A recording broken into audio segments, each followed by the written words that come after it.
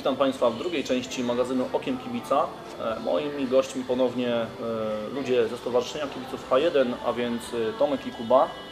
W pierwszej części było o sprawach dotyczących Anwilu, o sprawach dotyczących kibicowania w hali mistrzów, a tym razem zajmiemy się właśnie, właśnie H1. E, Stąd właśnie obecność chłopaków. Powiedzcie mi, bo, bo może nie wszyscy wiedzą, na pewno Was na meczach widać i słychać, ale powiedzcie mi, mm, od jak dawna działacie, ilu członków liczy stowarzyszenie, jakie są tak naprawdę Wasze główne cele? Y, Działamy oficjalnie od 2006 roku, z tym, że wtedy stowarzyszenie zostało zarejestrowane oficjalnie, y, te sprawy urzędowe zostały załatwione, natomiast grupa zaczęła się formować, o ile dobrze pamiętam, w 2002 roku, właśnie w sektorze H1, no stąd, stąd też y, ta nazwa. Zajmujemy, zajmujemy się aktywnym po prostu dopingiem na meczach Anwilu, organizowaniem wyjazdów, opraw. Y, W tym sezonie zebraliśmy 175 osób bodajże i to, i 175 to przed, przed terminem grubo, więc Y, bardzo to nas to znaczy cieszy. generalnie zebraliśmy więcej, z tym, że ogranicza nas pojemność sektora.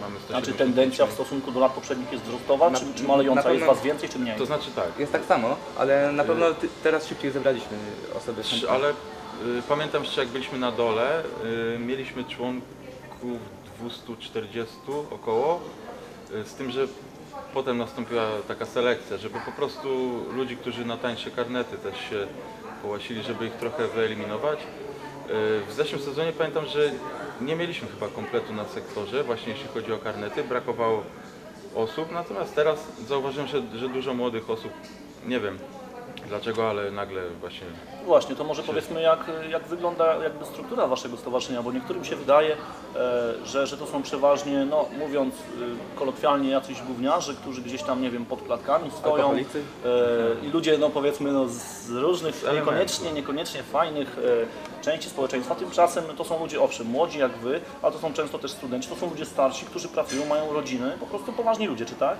No Oczywiście, tu dużo osób kieruje się takimi stereotypami, że ci kibice najbardziej żywiołowi to jest, y, wywodzą się właśnie z jakiegoś takiego środowiska y, jak, Szemranego. Szemranego, tak, krótko mówiąc szemranego.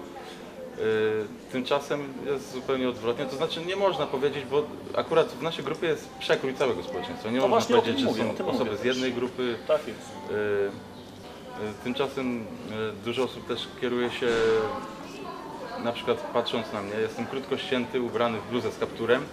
I No i ja, może, się, ja się Ciebie boję trochę, szczerze mówiąc. I widzisz, no i ktoś może powiedzieć, że o, to gdzieś typek spod ciemnej gwiazdy, gdzieś tam spod bloku.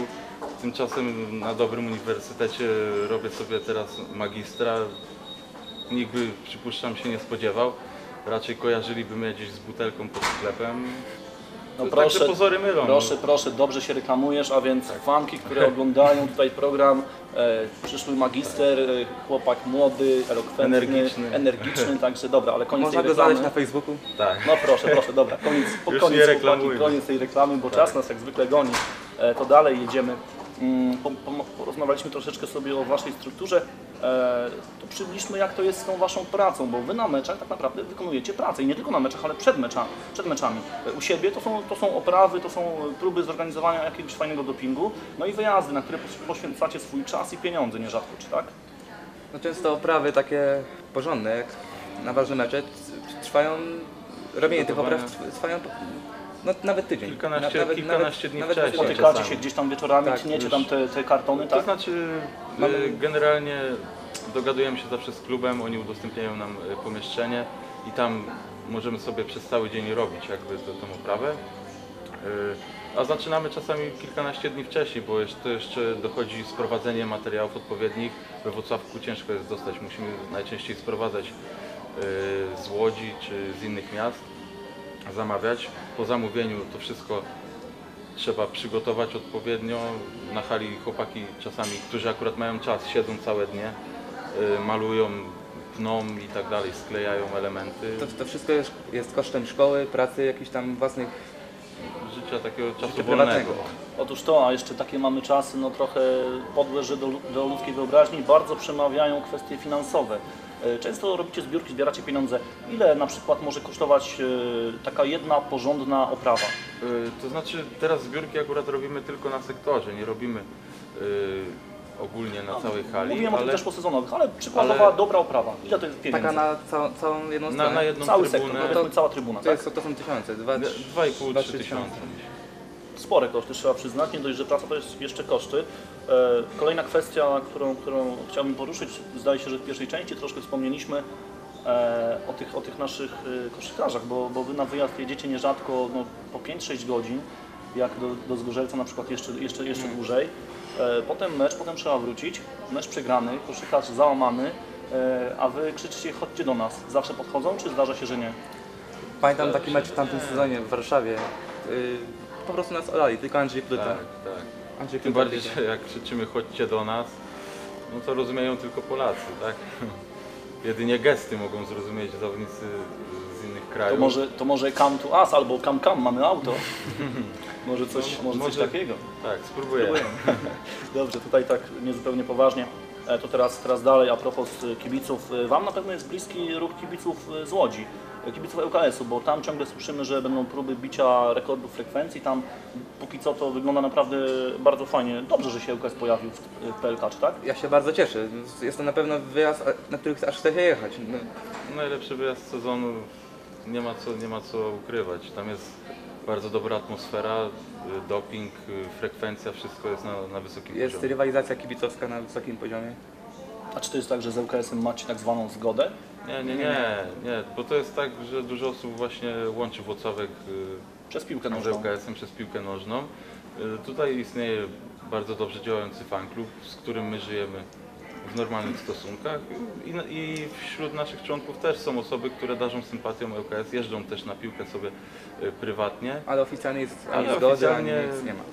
Oficjalnie jesteśmy o, zupełnie obcymi klubami, nic nas nie łączy. W takim razie jakie macie stosunki z innymi grupami, takimi zorganizowanymi e, kibiców e, z Polskiej Ligi Koszykówki? Czy, czy z kimś macie jakieś takie sympatie, czy wręcz przeciwnie, bo domyślam się, że na przykład ze Słupskiem raczej za sobą nie przepadacie. Znaczy, z większością ligi w sumie z całą. Jesteśmy na neutralnym gruncie. Tak. To znaczy jest tak, że nas nie lubią, a my jesteśmy obojętni. Tak jest po prostu, nie wiem z czego to wynika. No właśnie, za co Na, was nas nie dużo lubią? grup nie lubi, Dlaczego? najlepszych się nie lubi. To pewnie, pewnie Nie, tak, to już, pewnie to, z tego już wynika. to akurat żartuję, ale no nie chcę też mówić, że jesteśmy najlepsi, bo tak nie jest oczywiście. Ale no nie wiem, to już trzeba by było ich zapytać, gdzie nie pojedziemy, czy do Koszalina, który jest nam zupełnie obojętny, nas nie, albo weźmy przykład takiego Starogardu. Przyjechali do nas e, teraz pięć osób, mała grupka, e, jest prezentacja ich drużyny, u nas hala bije brawo, nie ma żadnego ciśnienia. Natomiast jak my pojedziemy tam, to cała hala po prostu chce nas rozszarpać, gwizdy, buczenie i tak dalej. Y, Chcą nas zjeść żywcem. No ale to, dlaczego to już by trzeba było ich Chyba jeszcze się nie spotkałem z sytuacją, że pojechaliśmy na wyjazd i nie było ani gwizdów, ani tam Nie, różnych gestów naszych, teraz oprócz, w Łodzi- LK, oprócz teraz w LKS-u Łodzi właśnie, chciałem powiedzieć. było zupełnie w porządku. To ja Wam powiem, dlaczego ja wspomniałem sam o tym Słupsku, bo kiedyś będąc w Słupsku e, w gronie znajomych, zdaje się 4-5 osób, e, pamiętam, że w przerwie ktoś z klubu kibica tamtejszego podszedł do nas i zapytał się, czy mamy ochotę na ustawkę. Nie wiem w ogóle skąd to się wzięło, ale była taka sytuacja. Zgodziliście się?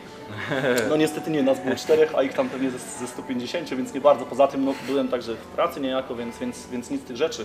E, no to dalej, e, skoro, skoro większość jest neutralna, e, nie ma jakiejś takiej, takiej szczególnej kosy, tak? Nie, nie, nie, nie ma nic takiego. Dobrze, w takim Natomiast razie... jeszcze może jeżeli chodzi o sympatię, to y, są, nie ma żadnej takiej oficjalnej zgody, na przykład, ale ja dużo ekip darzę szacunkiem i y, mimo, że jakoś tam nie jesteśmy powiązani, to są prywatne kontakty, po prostu wymieniamy się relacjami, informacjami z kibicami z innych miast. Y, nie ma żadnego takiego ciśnienia na siebie, po prostu każdy z szacunkiem do siebie się odnosi.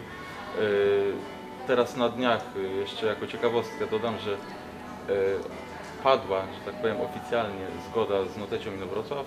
Chociaż ta zgoda to... To była już taka- zanosiło się na, na to od jakiegoś czasu, tak? tak. Y, Ze względu na to, że oni już y, no, słabo tam, ledwo egzystują, że tak powiem. Mimo, że teraz ich klub się podniósł, tam starają się coś odbudować, kilkanaście osób jest tam y, co mecz u nich stara się coś robić, ale, ale nie widać tego zaangażowania. Nic też, nie, nie mamy już po prostu wspólnych celów, żadnych Oczywiście, nic nas oczywiście jeżeli przyjadą na mecz Anwilu w barwach Anwilu, to ich nie wygonimy. z Oczywiście, bo sektora. są osoby, które darzą Anvil sympatią. Dobrze, Zawsze mają to, nas to miejsce. kolejna kwestia, wracamy z Inowrocławia do, do hali mistrzów. E, Kwestia dotycząca waszego dopingu, e, waszych przyśpiewek, e, was, waszych haseł, które zarzucacie gdzieś tam e, w trakcie meczu. E, Wielu kibiców, czy to młodszych, czy starszych, rażą, mogą razić no, pewne niecenzuralne słowa, które po prostu padają. No, powiedzmy sobie wprost, że niektóre, niektóre przyśpiewki są takie, że takie słowa padają. E, Zatem pytanie, czy skoro to komuś przeszkadza, nie przydałoby się tego troszkę ograniczyć, albo no nie wiem, może zmienić treść przyśpiewek, czy to się da w ogóle zrobić? Ja, myśl, ja myślę, że jest ich mało, tych Ja myślę, przyśpiewek. To Poza jedynie tym, pod wpływem emocji w jakichś takich momentach. poza tym duża część kibiców z innych sektorów, myślę, że o wiele więcej przeklinaliśmy. Pewnie, tylko że po prostu... Tylko, że po prostu was lepiej słychać, was lepiej. No słychać. bardziej w kierunku pewnie zawodników, a nie Już też nie przesadzajmy, że y, jeśli przyjdzie rodzina z dzieckiem na mecz, to to dziecko jakoś strasznie się zgorszy. w szkole słyszy podobne bo rzeczy. W szkole słyszy 100 razy gorsze rzeczy i robi 100 razy gorsze rzeczy. Skąd każdy czerpie takie słownictwo? Od kolegów ze szkoły, no to jest od najmłodszych lat. Na hali jest kultura w porównaniu do tego, co się dzieje w szkołach, nie ma co ukrywać. Rodzice po prostu tego nie widzą, nie wiedzą, co ich dziecko robi w szkole. Widzą za to, co się dzieje na meczu. No, Dobrze, w takim razie rodzice niech się zajmują swoimi dziećmi. Tak. dziećmi. My jeszcze tutaj e, jedna kwestia e, przypomniała mi się ważna, dla Was, dla kibiców jeszcze zorganizowanych szczególnie ważna. Śląsk. Śląsk Wrocław, który jest w tej lidze. E, wojna taka troszeczkę trwa, bo wiemy, wiemy jaka jest sytuacja. Ten Śląsk, który gra w PLK, to jest taki troszeczkę przyszywany, troszkę fałszywy Śląsk, który dziką kartę wykupił, który wykupił też za pieniądze prawo do używania nazwy. Prawdziwy Śląsk, ten e, z Chyżym, z Zielińskim gra w drugiej lidze. Jak to jest dla Was? Czy Wy traktujecie to w taki sposób, że ten Śląsk, który teraz przyjedzie nie- niebawem do hali mistrzów, mm, powiecie o tym, że ten mecz to będzie święta wojna, czy nie? Według mnie nie. Myśl, myślę, to nie jest Śląsk według mnie. Jak to Wy do tego znaczy, podchodzicie? według mnie Śląsk gra w drugiej lidze, w Ekstraklasie gra teraz WKK Wrocław, które zostało przefarbowane na Śląsk. Wykupili sobie nazwę. Ja traktuję Czy ten klub... inne, inne grupy kibicowskie też tak do tego podchodzą? Tak. E, Szczególnie na samym grupy Śląsku. kibicowskie, grupy kibicowskie, które jakby trochę śledzą ten temat i są w ten ruch kibicowski zaangażowane. Nie, taki, nie tacy zwykli obserwatorzy ligi, zwy, zwykli widzowie, oni, ich to za bardzo nie obchodzi, jak, jak, ta, jak ta sytuacja wygląda. Natomiast ci, którzy właśnie e, w innych miastach angażują się w ruch kibicowski, oni myślę, że wiedzą, że ten Śląsk, który aktualnie jest w lidze, w Ekstraklasie, to jest y, tak naprawdę WKK Wrocław. Sam- Sama grupa zorganiz- zorganizowana kibiców Śląska nie, nie, nie chodzi po prostu na ten Śląsk w Ekstraklasie, wspierają kibiców, y, wspierają swoich koszykarzy w drugiej lidze Tak, i też apelowali właśnie do, do bojkotu. do innych, tak, do innych. No, trochę grup. dziwna swoją drogą sytuacja, że w jednym mieście dwie drużyny tak naprawdę no, walczą ze sobą. To znaczy, no, Ja myślę, że na tym ekstrakla, ekstraklasowym Śląsku nie będzie jakiejś zor- zorganizowanej grupy kibiców. Chociaż y, z tego co widziałem w telewizji, doping na pierwszym meczu sezonu z Zastalem bodajże Tak, zastan. był prowadzony normalnie, chociaż no, szału nie robił, tutaj nie ma co ukrywać, było raczej monotonnie, ale ktoś tam jednak próbuje coś działać. No, trochę mnie to zaskoczyło. Później staraliśmy się dowiedzieć od kibiców tego drugoligowego Śląska, jak to wyglądało. Wytłumaczyli nam to. No, dziwna to jest sytuacja, nie, to nie podlega dyskusji. No ale Ale nie nasza piłka, więc nas to nie obchodzi tak. za bardzo. Skoro to jest nie nasza piłka, my się zbliżamy do końca naszego programu, to ja jeszcze tylko zapytam Was, czy może chcecie jakoś zaapelować do naszych widzów, do kibiców e, o wspieranie Anwilu na meczach u siebie, po to, żeby nie tylko H1 e, starało się dopingować głośno, żywiołowo, ale żeby także inni kibice może przychodzili na Wasz sektor, może pomagali. Oczywiście, jak ktoś ma ochotę, do nas na sektor zawsze można bez problemu przyjść, Ochro- miejsce sobie zająć dowolne, bo nie ma tak, że ktoś, kto ma na karnecie dane miejsce, to musi je zajmować. Każdy sobie staje po prostu. Chodzi o to, żeby jak najwięcej nas się tam zmieściło. Ochrona też nie robi żadnych problemów. y, Nie, nie, nie Tak. sprawdza nikomu biletów, czy mam na ten sektor, czy nie mam. A więc można Wam pomagać, Tak, tak? oczywiście, jak Nawet- najmniej jedzenia paluszków, a najwięcej śpiewania. Bardzo, O to to, byśmy chcieli bardzo o to prosimy. No i tym właśnie akcentem kończymy e, drugą część i tym samym pierwsze wydanie magazynu Okiem Kibica. Mniej paluszków, więcej dopingu, e, bo pamiętajmy, że, że my kibice mamy tak naprawdę duży wkład i duży wpływ na to, co się dzieje na parkiecie. E, Pierwsze wydanie już za nami, zatem zapraszam już niebawem na, na kolejny program pod tytułem Okiem Kibica. Dziękuję.